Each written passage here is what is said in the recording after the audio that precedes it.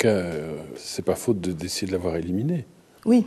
Euh, depuis Mesmer, euh, depuis 1780, 1800, 1900, tout le XXe siècle, le début en tout cas, et même la fin, a, tenté de, nous enfermer dans cette vision très manichéenne mhm. de la maladie mentale et, de la réalité. Donc, mhm. alors c'est vrai que le, le mur se lézarde plus que se lézarde actuellement quand même.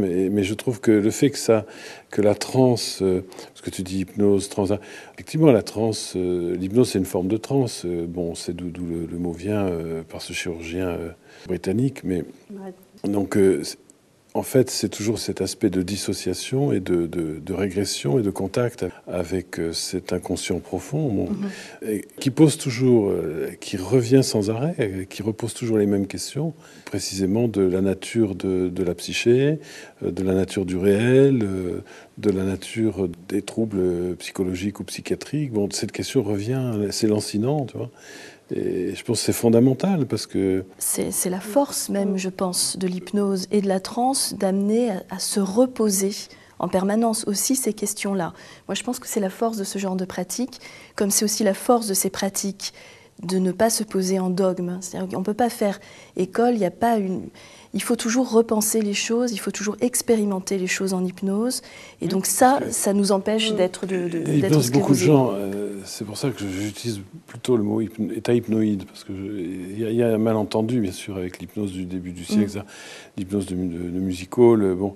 C'est vrai que c'est la clinique qui nous amène à nous interroger sur les choses. Et c'est vrai que euh, la clinique nous apprend, pour revenir à l'histoire de la transe et du chamanisme, c'est vrai que ça nous apprend que l'hypnose, c'est un des états Hein, des états, mais qu'il y a d'autres états euh, de transe, d'autres états qui sont euh, de plus en plus élevés ou de plus en plus élargis, tout dépend de comment on conçoit la conscience, et qui permettent au sujet de se situer justement dans l'axe qu'il recherche et duquel il a été un petit peu excentré. Donc c'est vraiment c'est la clinique qui nous amène à nous, interroger tout le temps quand on a envie de s'interroger. Hein. Je dis souvent qu'on n'a pas les psy on a les psy qu'on mérite, on a les patients qu'on mérite. Et, je crois que c'est vrai que c'est parce qu'on arrive à s'interroger sur les choses. Tu as raison. Ce que je veux dire, en fait, c'est que, contrairement à ce que beaucoup de, personnes pensent, l'hypnose n'est pas une théorie.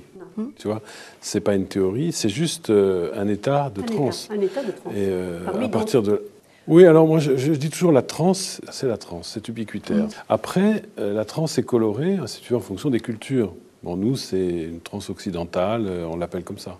Mais la base de la transe, c'est la dissociation et la régression ontogénique. Donc, si ça se retrouve partout après, bon, bah. Mais de fait, si tu veux, c'est pas du tout, euh, comme tu dis, on peut, ce n'est pas une explication en soi, c'est juste un questionnement. Parce qu'à chaque fois qu'on entre dans cet espace, on, se pose des questions euh, pour lesquelles on n'a pas forcément de réponse. Ce qui a gêné Jung, ce qui a gêné Freud. Hein, parce que malgré tout, Jung a commencé avec l'hypnose, et puis cette patiente qui avait une paralysie d'une jambe, probablement un, cas d'hystérie, hein, euh, un syndrome de conversion, qui vient avec sa canne, et puis euh, Jung lui dit Madame, je vais faire, je vais vous hypnotiser. à l'époque déjà, ça devait résonner d'une certaine façon. Et puis après, elle a eu une logorée, il n'arrivait plus à l'arrêter, ça duré je ne sais combien de temps, il était épouvanté, il disait oh, qu'est-ce que je vais faire? C'est au début de l'ouverture de son cabinet en plus. Bon. Et donc euh, finalement il arrive à l'arrêter, et là elle jette sa canne, euh, et puis elle part euh, disant, etc.